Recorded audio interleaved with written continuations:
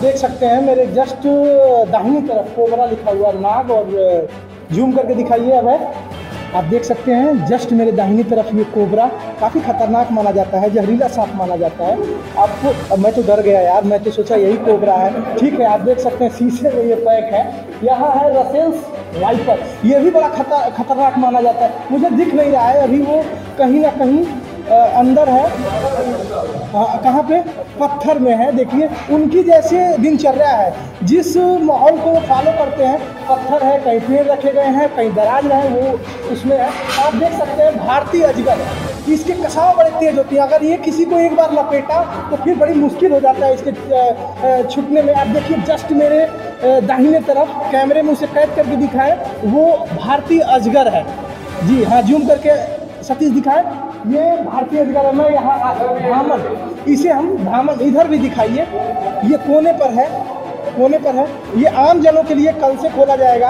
ये प्रशासनिक लोग हैं जो देख रहे हैं। और ये वाकई बड़ा, मेरे तो पैर दोनों दुख गए हैं। अगर आप यहाँ आए तो आपकी गाड़ी की भी सुविधा है। पैसे पे करके घूम सकते हैं। पैदल घूमेंगे थकने वाले हैं। धामन ये भी बड़ी जहरीली ये नीचे।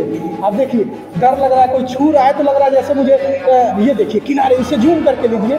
ये है धामिन मैं आपको बता, ये आज इसका लोकार्पण है और ये आम जनों के लिए खोल दिया जाएगा।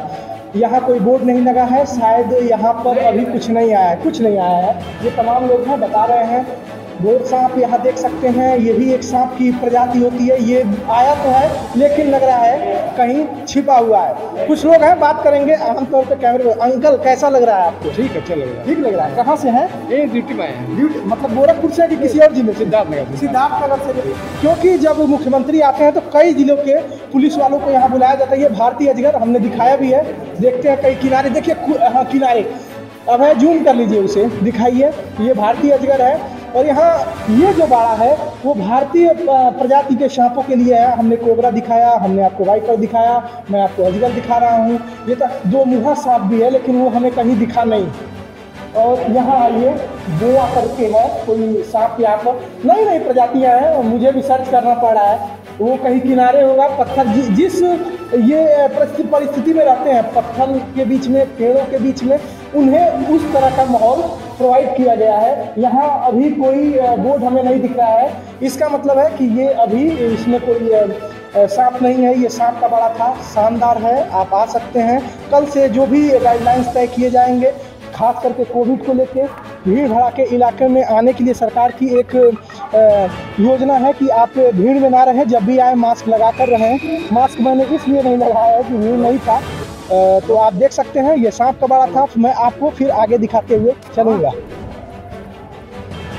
आप देख सकते हैं, मेरे जस्ट सामने ये तेंदुआ सोया हुआ है। इसे आप जूम करके लीजिए, जस्ट मेरे दाहिने तरफ़ आप देख सकते हैं। ये देख सकते हैं, बाड़ा इसके लिए काफ़ी अनुकूल है। और आप देख सकते हैं कि वो अभी सोया हुआ है। हम आपको दिखाने की आगे कोशिश करेंगे। हम सोच रहे थे कि आपको बब्बर सेठ दिखाएँ लेकिन बब्बर सेठ हमें खुद नहीं दिखा। अ, मैं आपको बताने की कोशिश कर रहा हूँ तेंदुआ के बारे में। तेंदुआ को श्री देवेंद्र प्रताप सिंह द्वारा अंगीकृत किया गया है। आप मेरे सामने देख सकते हैं। तेंदुआ के बारे में कुछ जानकारी दी गई है। तेंदुआ की लंबाई जो नर होता है वो 5.5 से 7 फीट होता है और मादा 5 से सिक्स फीट होती है। इसके जो वज़न होते हैं, वो नर को, नर के जो वज़न होते हैं, वो कहीं ना कहीं आप देख सकते हैं, ये किनारे इसकी विशेषता है और ये व्यवस्था है पूरे ये आम जनों के लिए। पैदल तो आप नहीं घूम सकते हैं। काफ़ी लंबा है।